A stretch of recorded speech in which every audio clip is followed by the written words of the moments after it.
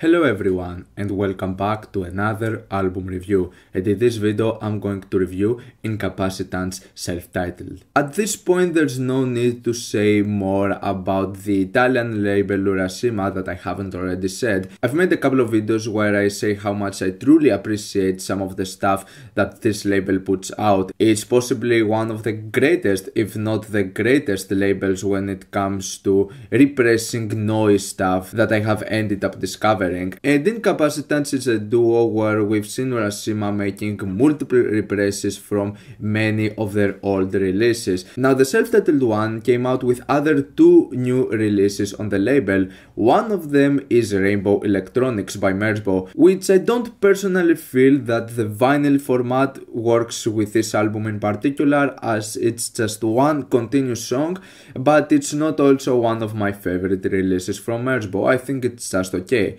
And we also have Freak by Masonna, which I happen to own already by having this CD box set right here. But of the three releases, the one from Incapacitants is without a doubt the most important and the most significant one. And I would say that this is probably one of the greatest achievements and one of the greatest things I've discovered thanks to this label because this is a really special archival. This right here is the previously unreleased very first tape of the incapacitants being pressed on vinyl after almost 40 years. This is big news and an essential release not only for incapacitants fans but for noise fans in general. Now me personally I've never been that much of a huge fan for multiple stuff of the incapacitants mainly because even though I really appreciate how boundary pushing and how influential and important they were in the Japanese scene as being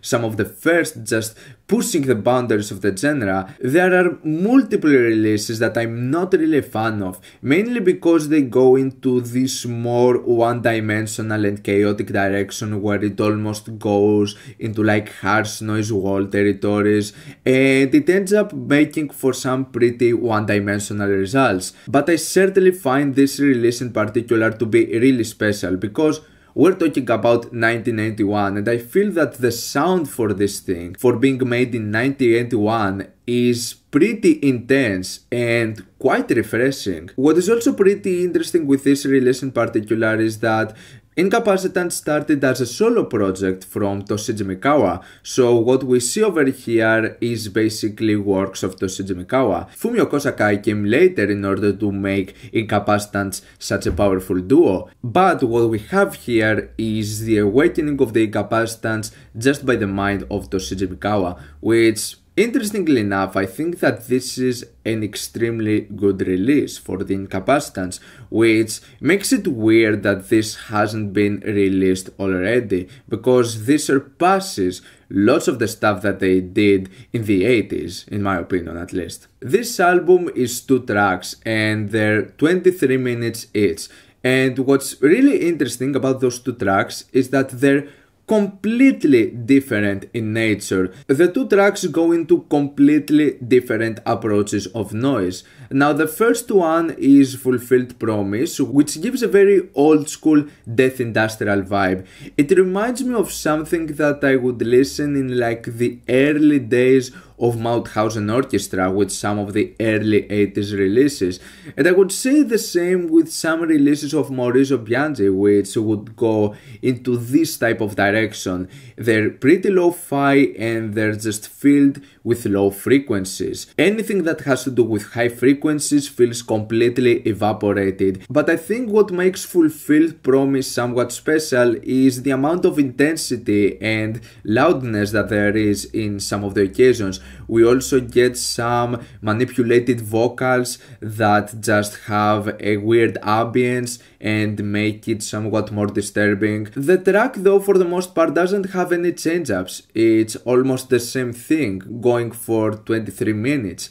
And it makes it somewhat of an one-dimensional track, which after a while, yeah, I felt it was becoming a bit boring and a bit too much. Then we have the second track, Plague, which is miles better. Now this track, what I really enjoy about this one in particular is that it gave me multiple vibes of the Incapacitants Project Palo 85, which if you remember I also made a video where I took Radio Code which contained the first tape out of this three tape project of Incapacitants and I find that the first tape contains some of the greatest stuff Incapacitants have done and I think that what we get with majority of the sections on Plague is just on par. So Plague in my opinion actually contains some of the greatest stuff I've heard from the Incapacitants because because it contains all of those different looped sections. There is a great amount of intensity in some of those occasions. There is actually structure and cohesion in some of those occasions. I like some of the bizarre melodic passages. The free improvised elements just sound extremely intense, especially for like 9081 standards. This thing sounds extremely refreshing, and it's the sound I enjoy listening the most from the Now, compared to the first track, which was a monotonous piece, Plague is actually separated in multiple sections. I think it's about 7 or 8 sections, and each one of those short sections is an absolute blast, just relentless bangers with so many great elements. It separates itself in some really messy improvised stuff in like the segments 1 or 2 or 4 but then you have the third section which is all of those exploding noises and this really nice balance of low and high frequencies that makes for such a structurally impressive song. Then you have the fifth section which feels like it has a looped guitar sample playing in the background accompanied with many different pieces of noise that sound pretty unsettling. This part is kind of melodic and super fun in occasions and I think this extends with the sixth segment, which also manages to give me vibes on like old school Merzbow releases that would just contain tape loops. When it comes to noise, I'm such a sucker for loops. And I think that what Incapacitants does with Plague has some impressive results. The whole thing ends off with an extremely good use of delay and feedback, and it just ends this thing with a bang. The overall pacing of all of those tracks contains in Plague is excellent, nothing overstays its welcome, and all of the elements sound really cohesive and the ending result makes for some of the greatest things I've heard from Incapacitants. It's the one sound I enjoy listening from them the most. So even if Fulfilled Promise is a slow burner, the second half with Plague manages to save the entire thing and making it feel such an important and essential release, not only for Incapacitants fans but also for noise fans in general. The very first tape from the Incapacitants manages to be, in my opinion, one of the most essential Japanese releases in the early 80s. I'm going to give self-titled a 7 plus out of 10.